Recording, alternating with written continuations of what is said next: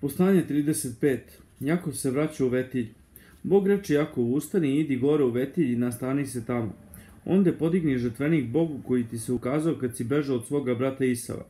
Jakov reče svojoj porodici i svima koji su bili s njim. Odbacite strane bogove iz vaše sredine, očistite se i presvucite odeću.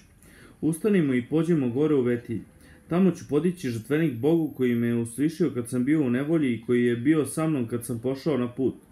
Tada su oni predali Jakovu sve strane bogove koje su imali i naušnice što su im bile na ušima, pa ih Jakov zakopa pod hrast kod Sihema. Kad su krenuli na put, Božiji strah je obuzeo okolne gradove, te niko nije krenuo u poteru za Jakovljevim sinovima. Tada je Jakov došao u Luz, to jest Vetilj, u Hananskoj zemlji i sav narod što je bio s njim.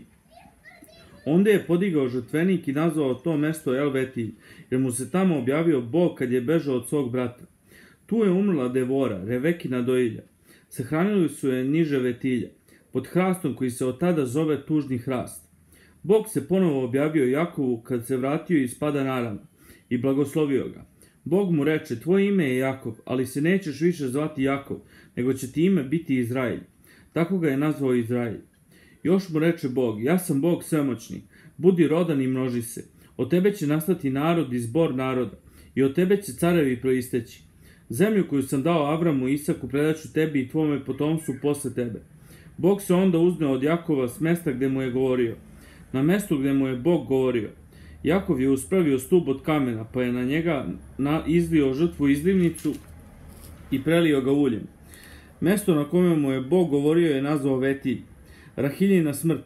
Zatim su napustili Vetilj. Još je bio ostao deo puta do Efrate, kad Rahilja poče da se porađa.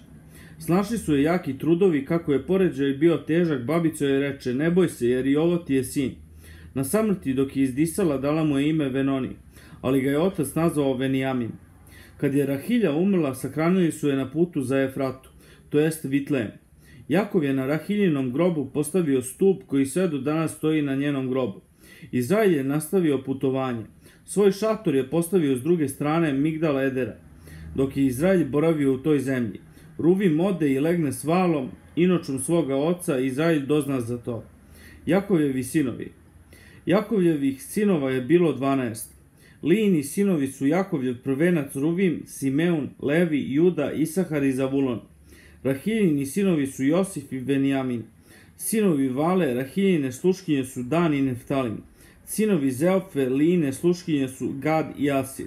To su Jakovljevi sinovi koji su mu se rodili u Padanaramu. Isakova smrt. Jakov ode k svome ocu Isaku u Mamniju, u Kirijat Arvu, to jest Hevron, gde su nekad Avram, a potom i Isak živeli kao stranci. Isak je živeo 180 godina. Onda je izdahnuo i umro, te se pridružio svojim precima, stari sit života. Sahranili su ga Isav i Jakov, njegovi sinovi.